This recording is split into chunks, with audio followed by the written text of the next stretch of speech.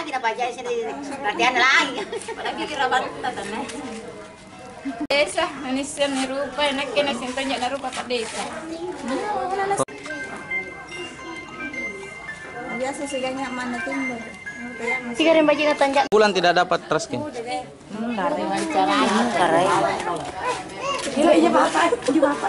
Eh ada juga dapat kisambako, ada juga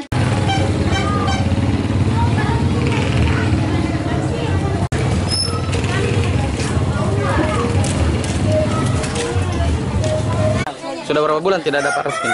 Lima bulan. Sudah lima bulan ya. Bu, biasanya kalau dapat raskin itu, ibu dapat berapa? Berapa karung? Satu karung. Satu karung. Itu per triwulan atau per bulannya? Biasa per tiga bulan dapat berapa karung? Lima bulan satu karung. Lima bulan satu karung. Karung ke mana lima bulan? Karung dua bulan satu karung. Berarti setiap eh, per lima bulan dapat satu karung. Satu karung. Satu karung ya. Itu harganya berapa bu? Dua di lapangan. Dua puluh delapan ribu. Tidak gratis. Dua delapan. Satu Berarti sudah bulan lima bulan ini belum dapatkan raskin, belum dapat raskin ya?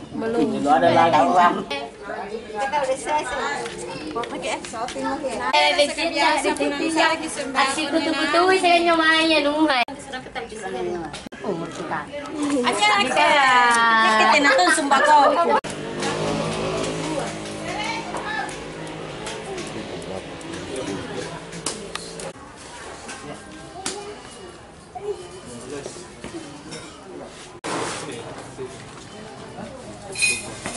sumbako.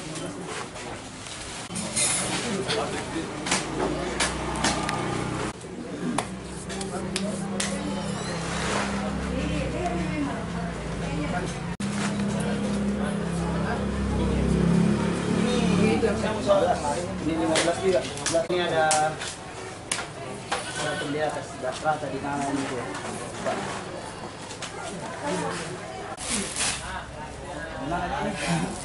Hah?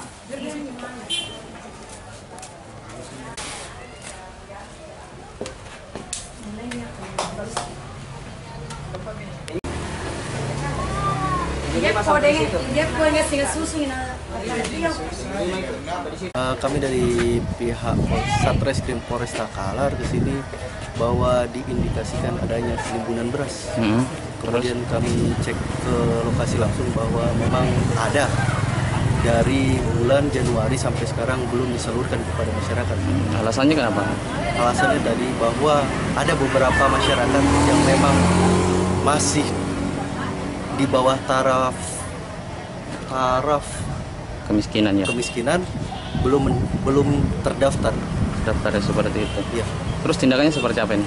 Untuk tindakannya kami akan mengecek dulu kualitas daripada kualitas beras ini ke di bulog sehingga kami akan melakukan tindakan yang lain. 60, 75. Ini 75 sampai sini.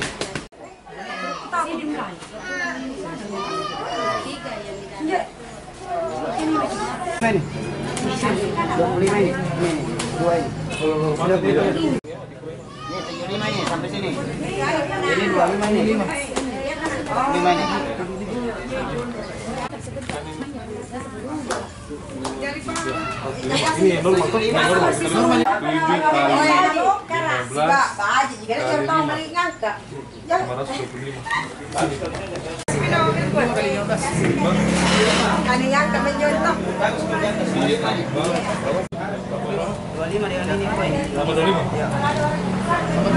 Sabar, Cis, sabar, Cis. Ya, Lele.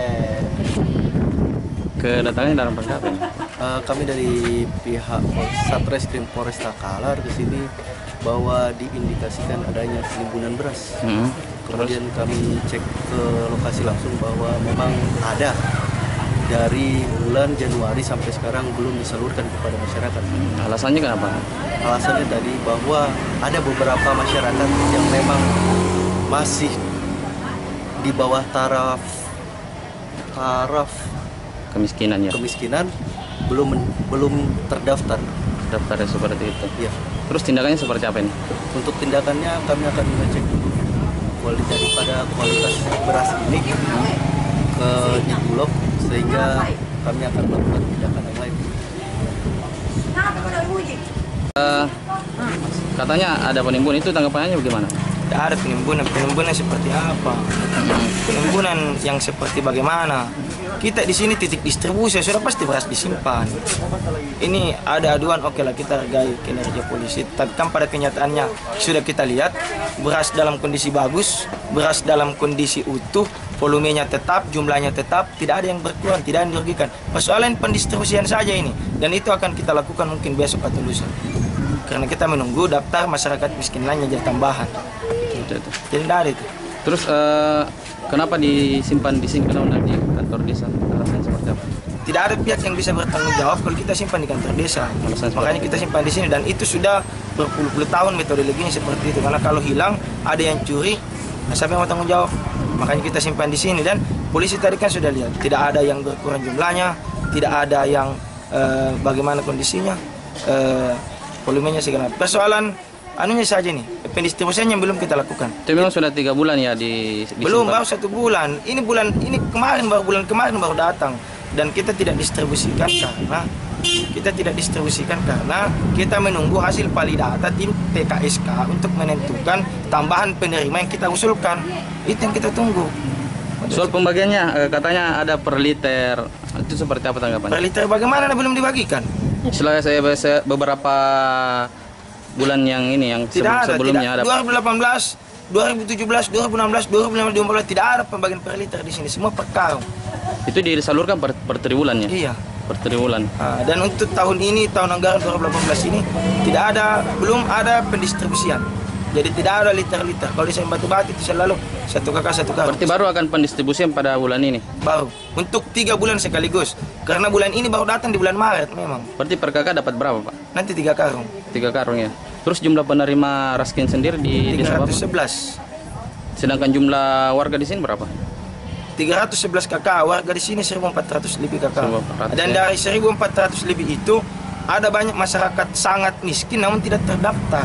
Itu yang kita tunggu karena kasihan juga mereka kalau kita tidak coba berani mengambil resiko kebijakan untuk mengaturkan masyarakat yang sangat miskin dengan masyarakat yang mampu tapi terdaftar.